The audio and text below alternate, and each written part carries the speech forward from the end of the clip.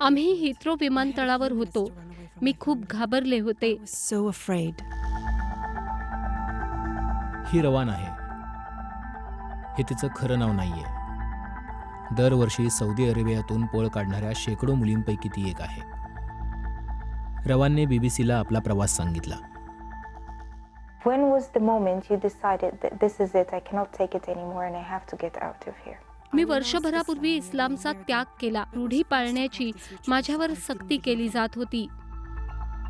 Saudi अरेबियाच्या गार्डियनशिपच्या पद्धतीमुळे महिलांना पासपोर्ट मिळवणं प्रवास किंवा लग्न करणं यासाठी आपल्या पुरुष नातलगाची परवानगी घेणं बंधनकारक असतं.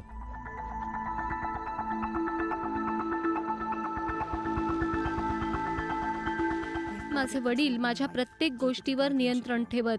मी कुठे राहायचं कुठे शिकायचं कुठे फिरायचं हे सगळं ते ठरवत.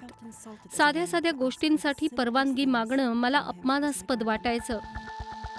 रवान म्हणते सोशल मीडियाने तिला वाट दाखवली. मला आश्रय मागता येऊ शकतो हे मला माहिती नव्हतं. युके मध्ये येण्याच्या महिनाभर आधी मी या संदर्भात माहिती काढली. आश्रय शोधणाऱ्या सौदी लोकांना मदत करणाऱ्या एका माणसाशी मी बोलले. परदेशी प्रवास करत असताना तिचं विमान थांबलं. We reached Heathrow, आम्ही हिथ्रोला पोहोचलो तेव्हा माझे नातलग शौचालयात गेले. मी ती संधी साधली आणि विमानतळावरच्या एका कर्मचाऱ्याला एक चिठ्ठी दिली. त्यात लिहिलं होतं की मला आश्रय हवाय. पोलिसांनी माझ्या कुटुंबियांना हे सांगितलं.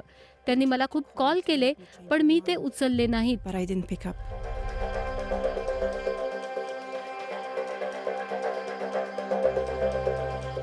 अल ओताईबी यांनी रवानला या प्रवासात मदत केली. त्यांनी इतरही सौदी नागरिकांना अशीच मदत केली आहे. About 9 out of 10, I have. गेल्या वर्षी मी मदत केलेल्या दहा लोकांपैकी नऊ महिला होत्या. त्यांच्यातल्या काहींनी कधीच परदेश प्रवासही केला नव्हता. एखादा सौदी नागरिक युकेमध्ये पोहोचला की मी त्यांची गाठ एनजीओशी घालून देतो. मी त्यांना आर्थिक मदत किंवा राहायला जागा देत नाही.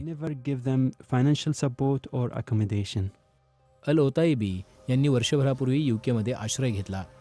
त्यांचं म्हणणं आहे की सौदीमध्ये काही पुरुषांसाठीही जगणं कठीण होऊ शकतं. Dad was माझे वडील खूप तापट होते आणि ते माझा मानसिक शारीरिक छळ करायचे. मला इतका त्रास व्हायचा की मी आत्महत्या करण्याचाही विचार केला होता.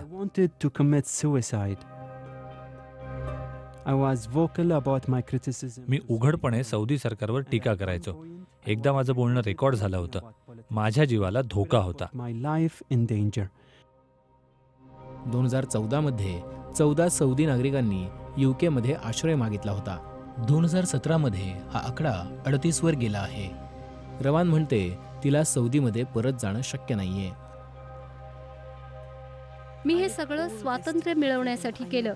यापूर्वी माझं माझ्या आयुष्यावर नियंत्रण नव्हतं. आज काय करायचं कोणते कपडे घालायचे हे ठरवण्यातही मला आनंद मिळतो. मी आता सौदीला परत जाऊ शकत नाही.